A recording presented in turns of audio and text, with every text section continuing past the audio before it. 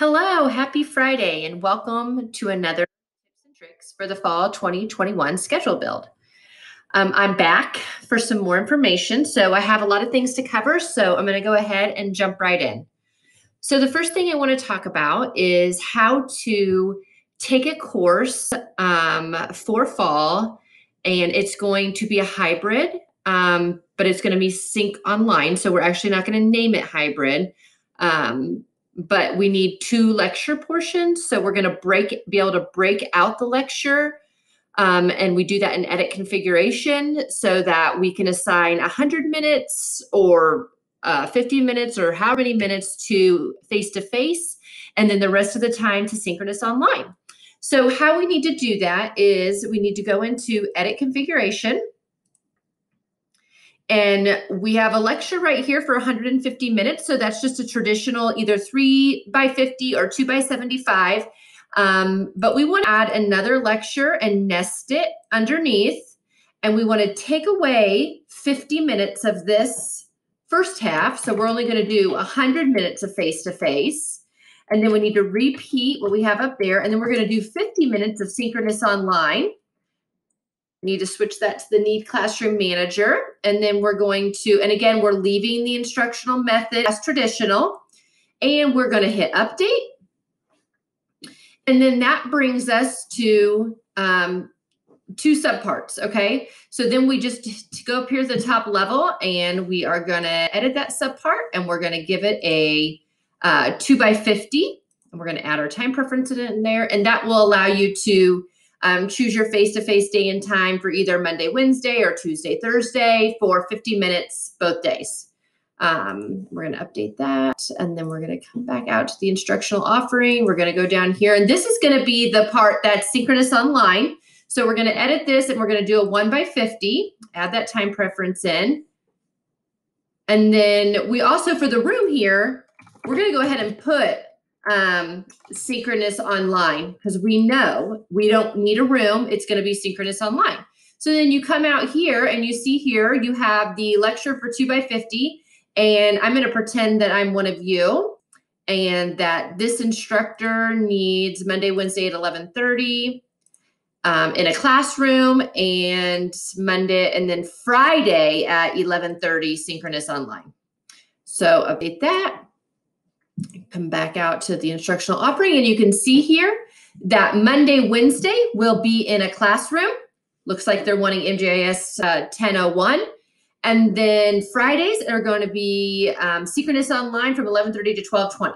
So that's how you would set it up if it's going to be a face-to-face and synchronous online.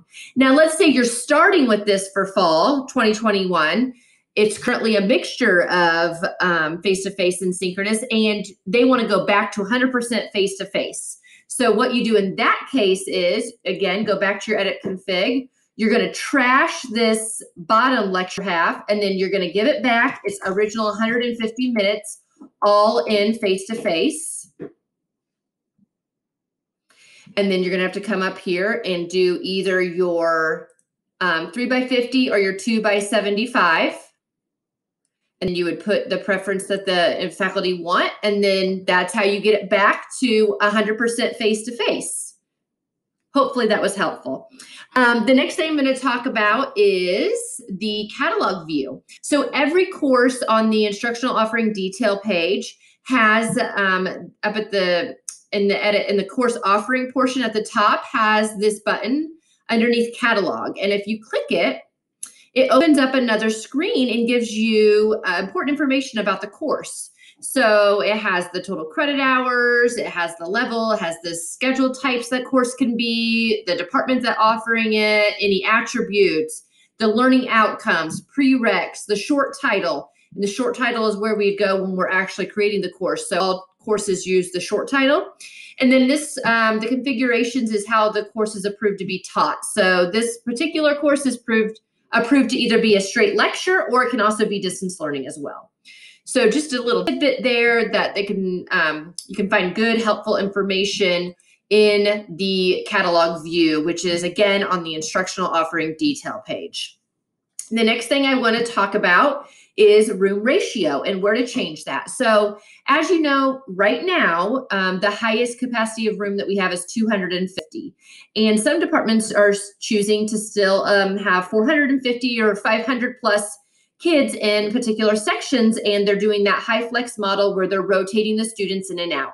But in order to get that section scheduled into a room, because right now all the rooms are only 250 max, you actually have to lower the room ratio so you will actually get scheduled into a room. So, in order to lower the room ratio, you go to um, two different places here. You can either go to edit configuration, and right here's the room ratio. So you can lower it to half. So you're basically saying, I only need a room for half the size of my enrollment. Or you can also go into class setup and the room ratio is located right there as well. So that's another place that you can um, update the room ratio. Um, another thing I wanted to mention is date patterns. So in Unitime, you can see here that um, on the instructional offering detail page, you can see the date pattern. And this particular course is using the full term date pattern. So that means um, the full semesters, you know, weeks one to six, 15 plus a, a finals week. Um, sometimes you'll see weeks one to eight or weeks nine to 15. And those are obviously um, only half of the full semester. Um, I'm talking to particular departments that like to use um, what we call special date patterns or date patterns that have particular meet times. So let's actually look up a, I'm going to go to nursing. They have a lot of these. So we're going to find a course here. Oh, right here, right off the bat, 21801. So you can see here that these clinics have particular special date patterns. So it doesn't look like something you would normally see full term, weeks one to eight, weeks nine to nine to 15. They actually have specialized date patterns, and those all need to be checked. And that is part of the build. Um, we can get into quite a bind if those dates are wrong um, and then we are showing wrong instructional days. So um, we really need to have those checked at the time of the build and then corrected if necessary. And any of those date patterns can be corrected by sending an email to your scheduling assistant, either Betty or Robin, and they can get those date patterns updated.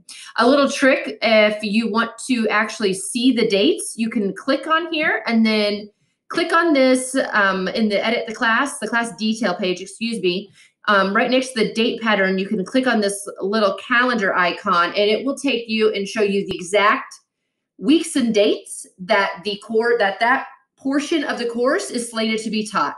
So for this particular clinic, they're only meeting for their clinic on the days that are on the weeks that are highlighted. The rest of the time, they're not expected to be in the clinic. So if that is something that needs to be um, changed or updated, that's again an email to your scheduling assistant at the time of the build to get those appropriately updated.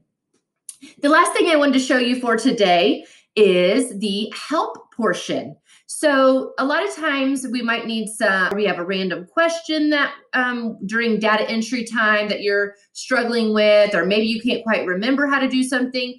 There's this nice little help section in Unitime on the on the bottom left hand side. If you click that um, and you open up the manuals, there's several different manuals there that might um, be a, be of helpful use to you. So one in particular, especially going through the build, is the course um, timetabling data entry manual. So you can just click that and it will open up right in your screen. And there it is. And so it goes and talks about um, all the data entry portions of Unitime. So this is kind of a little helpful hint that um, if you're in the middle and maybe you're working at night or something and you can't quite remember how to do it, check there first, and that might end up being useful for you.